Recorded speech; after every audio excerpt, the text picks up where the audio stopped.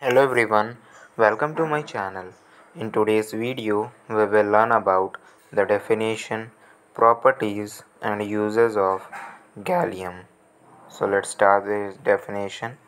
Gallium is a chemical element with the symbol Ga and atomic number 31. Since its discovery in 1875, gallium has widely been used to make alloys with low melting points. It is also used in semiconductors as a dopant in semiconductor substrates. The melting point of gallium is used as a temperature reference point. Now let's understand its properties. So, gallium is silvery white and soft enough to be cut with a knife.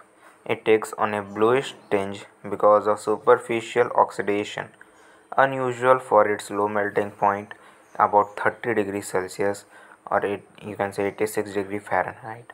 Gallium also expands upon solidification and supercools readily remaining a liquid at temperature as low as 0 degrees Celsius. Now let's understand its uses.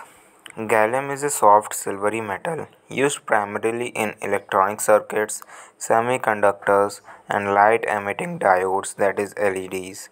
It is also useful in high temperature thermometers, barometers, pharmaceuticals, and nuclear medicine tests. The element has no known biological value. So that's all for today's video. Thank you so much for watching my videos.